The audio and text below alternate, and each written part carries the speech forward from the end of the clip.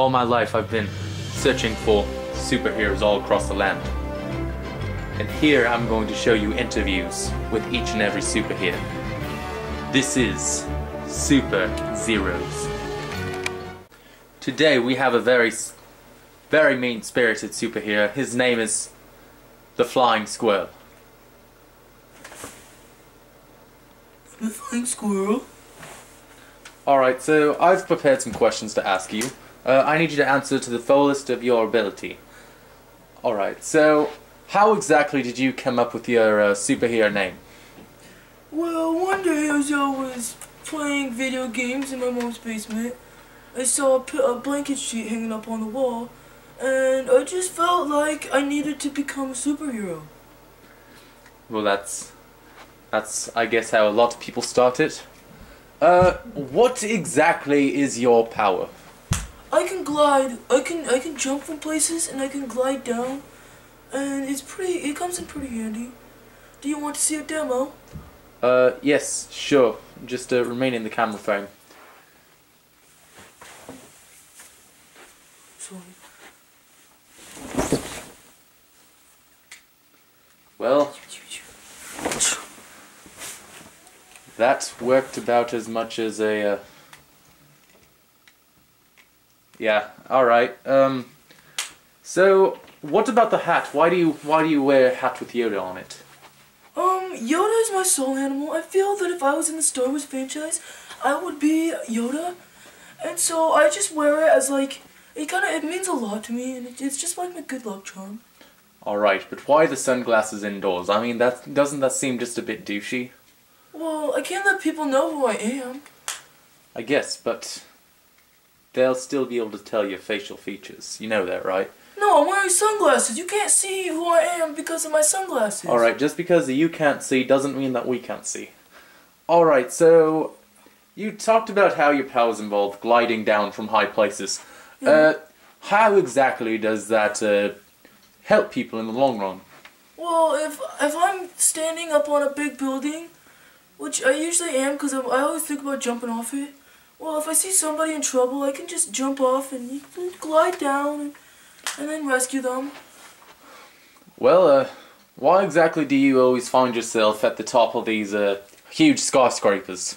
Uh, cause I'm I like to look at how little people are and from up there, because it makes me feel a lot bigger about myself. All right, do you feel small, small otherwise? No. All right. See, when you were talking about how your power involved jumping off of buildings, uh, I immediately thought of something else that a lot of teenage boys on the internet tell me over Xbox Live. Uh, so you say it's to see people smaller, that way you seem bigger as a person. Is that some sort of self-esteem issue or like an ego problem? Um, I don't, I don't want to talk about this.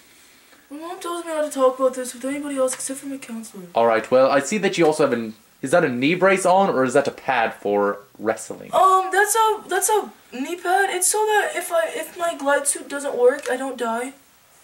Oh, okay. Well, uh, well, I guess that makes no sense whatsoever. I mean, it's just your knee. Of all the places on your body, your knee seems like Yeah, yeah, yeah, yeah. But if I jump off a building and I land, I can always just put my knee down and hit on the knee and only the knee, and then and then I'm gonna be fine.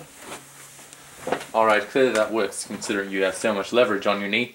Yes. Um, so you said that you you have to talk to your mom, and your mom says that uh, not to tell other people things besides your counselor. Uh, how exactly? Uh, how exactly old are you? um, I'm 47 years young. Forty-seven years young. Yeah. Because you look like a bloody twelve-year-old. No. Well, I guess not. If you insist that you're forty-seven. Yeah. Uh, do you have? Can you tell us your secret identity? Of course, it's a secret, so you probably will say no. Um, yeah, I'll tell you. Okay. Your mom's asshole. Right. Uh, my mother died. Yeah, from my dick. No, no, it's like uh, she had she had a bad she had cancer and uh, she actually died a couple weeks ago. Her funeral was uh, last Saturday. That's funny, cause yesterday she was in my bed. So necro necrophilia. Shut up! Well, your uh, your arguments seem to be uh, falling back onto themselves. No. Uh, in your choice, uh, because you're so clearly not 47, but more like a 12 year old, uh, who, who is your favorite Pokemon? What's a Pokemon? What's a Pokemon? A Pokemon, or Pocket Monster as uh, known in the Japan, uh, is a little creature who you catch and you use in battle. I don't know what a Pokemon is. Yes, but okay. Uh, what is your favorite Call of Duty game then? Play is Pokemon. Right. So, how many crimes have you uh have you have you solved? Um, I haven't solved any yet because I'm just starting. But I did save a dog from the ground one time. When exactly did you start? Um, a couple weeks ago. A couple weeks ago. Yeah. All right. Uh, so would you consider yourself a hero or a vigilante? Um, you know, I p- prefer to be called a vigilante because it sounds like my favorite word. Right, virginity. Something you still have intact. Uh. Well, I've seemed to run out of questions to ask you. So, do you have anything to say for the uh, fans of the Flying Squirrel at home? Yeah, if you ever think that you can stop the flying squirrel, Right, right. That's just uh. no, no, shut up. If you ever think that you can stop the flying squirrel, you will not because nothing can stop me. Right. Uh. That's what my mom told me. Right. Well, can you say bye to you, many, many adoring fans at home? Uh, bye everybody. If you like me, then you like me, and if you don't like me, then I'm gonna freaking kill you, you freaking frick. All right. Well, that's a wrap. Okay. This is Sterling Buck signing off for the first time. Thank you everybody for watching the pilot to interview with a superhero. We're gonna be we're gonna be posting twice a week, Mondays and Thursdays, and keep updated on our channel because we'll be posting other types of videos, like what's coming out is Roomies, and we're gonna do some other ones. Make sure you leave a like and subscribe, and thank you.